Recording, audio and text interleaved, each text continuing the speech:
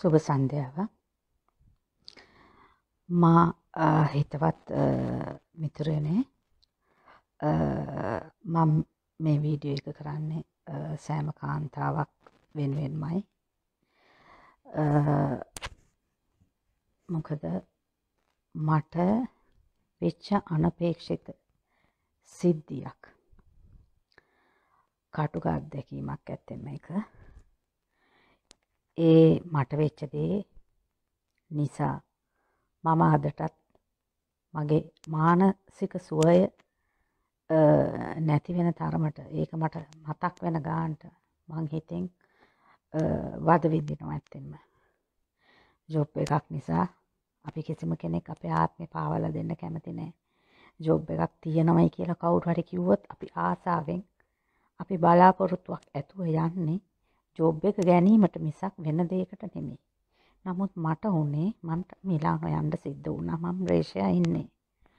නමුත් මම මිලානෝ වුණත් ගියේ ලොකු බලාපොරොත්තුවකින් ජොබ් එකක් අවශ්‍ය නිසා.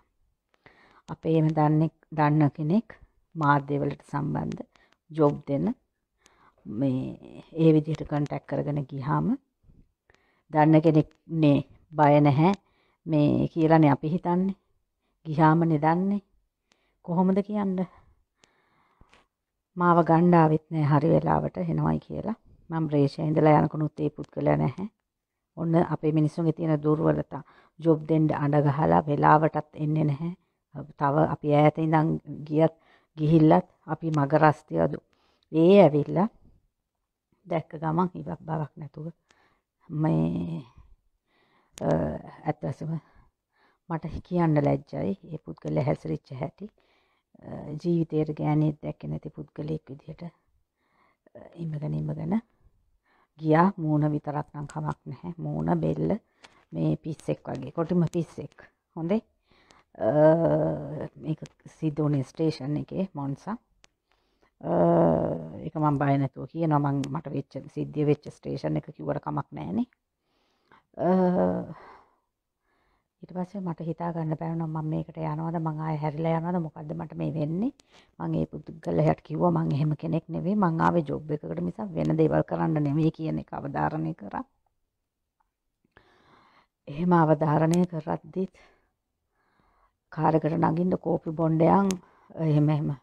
මම මොකද්ද දැන් කොහෙද මේ ඉන්ටර්විව් මොකද්ද තියෙන්නේ? අපොයින්ට්මන්ට් එක කොහෙද තියෙන්නේ? කීයටද? කියන එක.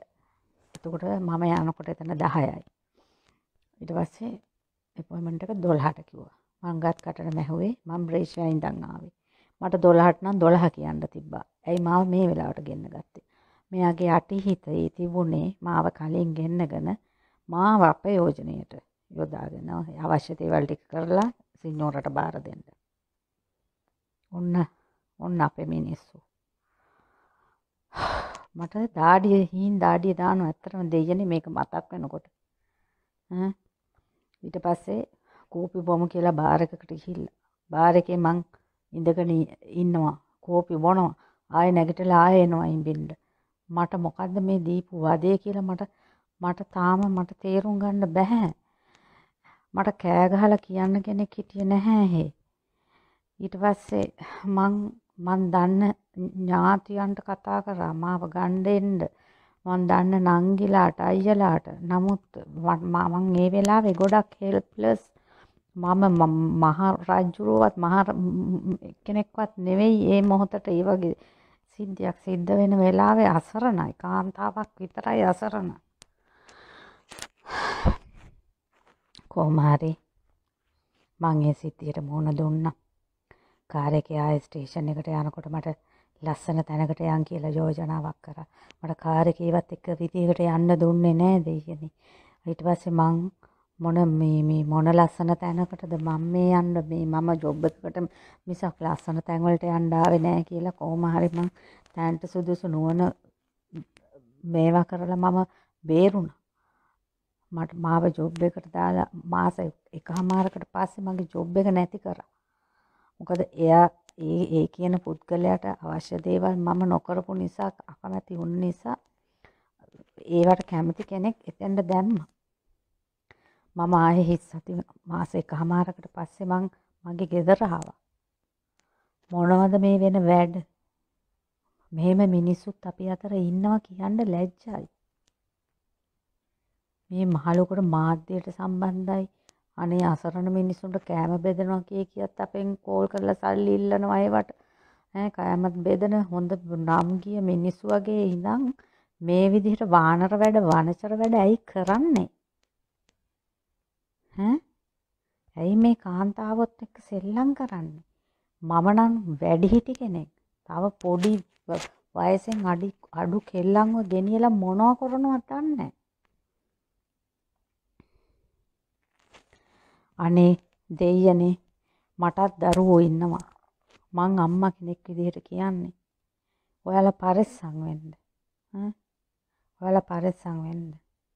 කාන්තාවනි වන්ට කියලා tamun හැම කාන්තාවක්ටම රැකෙන්න අයිතියක් තියෙනවා. ආරක්ෂා වෙන්න අයිතියක් තියෙනවා. මෙහෙම ලිංගික අපචාර කරන්න හදන මිනිස්සුන්ට පාඩමක් උගන්වන්න කිසි දෙයකට බය නොවි. තමුන්ගේ නියපොත්තක්වත් අල්ලන්න දෙන්න එපා කනේ පාරක් ගහන්න. මම අදටත් දුක් වෙනවා මේ මනුස්සයාට මට කනේ පාරක් ගහගන්න බැරි වුණා. මොකද මම ගොඩාක් මං මං කම්පණය වුණා ඒ වෙලාවේ. මට මම හොඳටම ඇත්තටම මම බය වෙලා හිටියේ හෙල්ප්ලස් වෙලා හිටියේ. නැත්තම් මං දන්නේ මං මම මේ වගේ ඇහැරිලා හිටියනම් මං ගහනවා කම්බුල් පාරක්. මම මේ ඔයාලට ආදරයට කතා කරන්නේ මගේ යාළුවනේ. ඊට පස්සේ ඔයාලා ජොබ් වලට යන්න එපා තනියෙන්. කවුරු හරි ජොබ් එකක් දෙනවා කිව්වොත් තමුන්ගේ වැඩිහිටියෙක් හරි බාලෙක් හරි තනින්ම තනියට පූසෙක් හරි බල්ලෙක් හරි අරගෙන යන්න දෙයියනේ. මේ අපි තනි වෙලා නෑ ඒ තරම්ම. යාළුවෙක්ට යන් කිව්වොත් එයි. යාළුවෙක් බෑ කිව්වොත් යාළු පිරිමියෙක් හරි එක්ක යන්න. ගෑණියෙක් හරි නැත්තම්. මං මේ ඔයාලට අවවාදයක් දෙන්න මට අයිතියක් තියෙනවා. මම වැඩිහිටියෙක් නිසාත් මට දෙයක් සිද්ධ වෙච්ච නිසාත් ඒ අත්දැකීම් වලින් ඔයාලට ඔයාලට රැකෙන දෙයකට අවවාදයක් දෙන කෙනෙක් නිසාත් ඔයාලා ඔයාලා මන් දන්නවා මගේ යාළුවෝ මාව විශ්වාස කරලා මට ඇහුම්කන් දීලා පරිස්සම් වෙයි කියලා. මං අදටත් ඒ සිද්ධියෙන් පස්සේ වැඩට යන්නේ නැහැ දැන් මාස දෙකක්.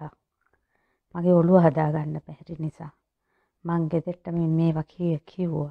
මගේ දරුවෝ ඉන්නවා මට ලොකු වැඩිහිටි. මං ඒ දරුවන්ට කිව්වා. මගේ ගෙදරට කිව්වා. මොකද මම මේ මෙහි මම හැමදේම තනියෙන් විඳ දරා ගන්න මට බැරි දේවල් මං කියනවා ගෙදෙට්ට. මට හැමදේම තනියෙන් විඳ දරා ගන්න බෑ. ශක්තිය තියෙනවා ඕන තරම්. නමුත් මේ වගේ වනචර වනචර මිනිස්සුන්ට ඉඩ ඉඩ දෙන්න බෑ තව දුරටත්. මෙව්ව වහන් වහන් ඉඳලා වහගෙන මම මාස දෙකක් මේක මං තනියෙන් හිතින් දුක් විඳා. මං හිතුවා මට වෙච්ච දේ වෙලා ඉවරයි. තව කෙනෙක්ට නොවෙන්න මම මේක එල්ලිදරව් කරන්න ඕනේ කියලා. ඒකයි යාළුවනි මම මේ තරම් මේ විදියට ආවේගයෙන් කතා කරන්නේ. ඔයාලා මන් දන්නවා කවදාවත් දැකලා නැතුව ඇති මේ බ්‍රේෂය අක්කා මේ විදියට ආවේගයෙන් කතා කරනවා.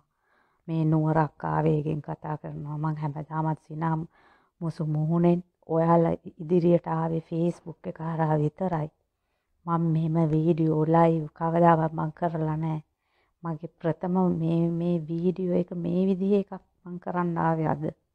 ඔයාලා වෙනුවෙන්මයි. තවත් මේ අයට ඉඩ තියන්න එපා.